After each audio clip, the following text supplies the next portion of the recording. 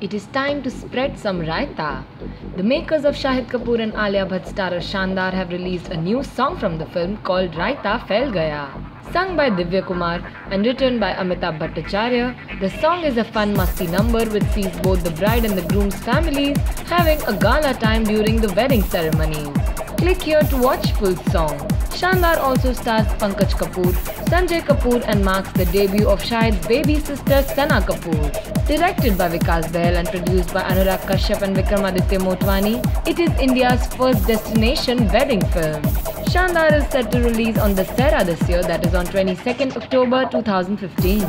So guys tell us how did you like the Raita Phail Gaya song from Shaandaar? Like this video, write in your comments and don't forget to subscribe to Bollywood Hangover.